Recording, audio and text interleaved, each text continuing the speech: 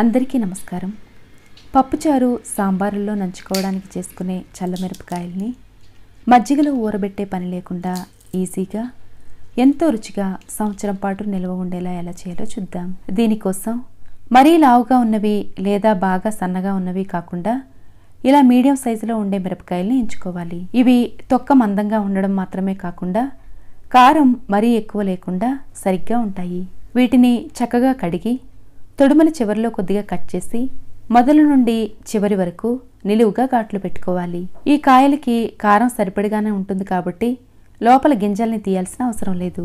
వీటిని పక్కన పెట్టుకొని మిక్సీ జార్లో ఒక కప్పు వరకు వాము పావు కప్పు జీలకర్ర అరకప్పు ధనియాలు వేసి మరీ మెత్తగా కాకుండా కొంచెం బరకగా ఉండేలా గ్రైండ్ చేసుకోవాలి.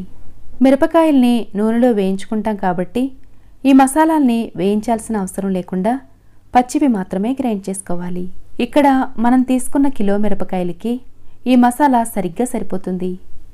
ఇప్పుడు దీనిలో నుండి ఒక స్పూను పొడిని ఒక గిన్నెలో తీసి పక్కన పెట్టుకోవాలి.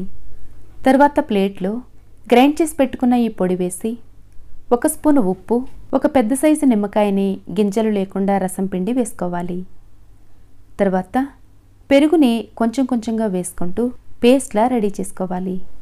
ఇందులో పులుపు కోసం నిమ్మరసం వేసాం కాబట్టి పెరుగు మరీ పుల్లటిది కాకుండా వేసుకోవాలి.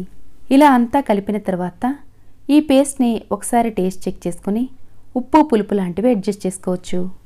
మిరపకాయలు ఎండిన తర్వాత టేస్ట్ ఏమీ అడ్జస్ట్ చేయలేం కాబట్టి ఈ పేస్ట్లోనే అన్నీ సరిగ్గా సరిపోయాయో లేదో చూసుకోవాలి.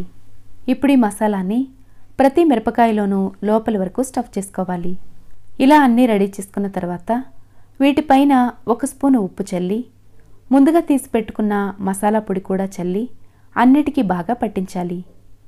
ఇలా పైన తొక్కకి కూడా ఉప్పు మసాలా పట్టిస్తే చక్కగా ఊరుతాయి. మసాలా ఊడిపోకుండా జాగ్రత్తగా కలిపిన తర్వాత ఇప్పుడు వీటిని ఒక గ్లాస్ బౌల్లో కానీ లేదా స్టీల్ గిన్నెలో కానీ వేసి మూత పెట్టి ఒక రోజంతా వదిలేయాలి. అయితే మధ్యలో రెండుసార్లు వీటిని మసాలా ఊడిపోకుండా గిన్నెని పైకి కిందకి కదపాలి. ఒకరోజు తర్వాత చక్కగా నాని ఇవి కొద్దిగా మెత్తబడతాయి.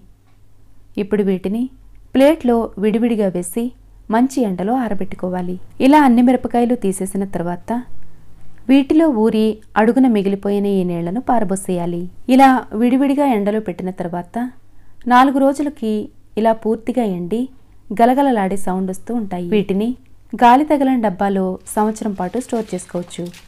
అయితే మధ్య మధ్యలో అప్పుడప్పుడు ఎండలో పెట్టుకుంటూ ఉండాలి.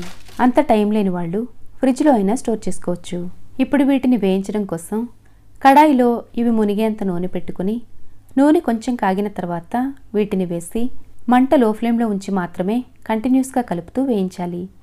అయితే ఇవి ఎక్కువ మంట మీద వేయించినా నూనె బాగా కాగిన తర్వాత వేసినా ఇవి లోపలి వరకు వేగకముందే నల్లగా అయిపోతాయి కాబట్టి వేయించేటప్పుడు కాస్త జాగ్రత్తగా వేయించుకోవాలి.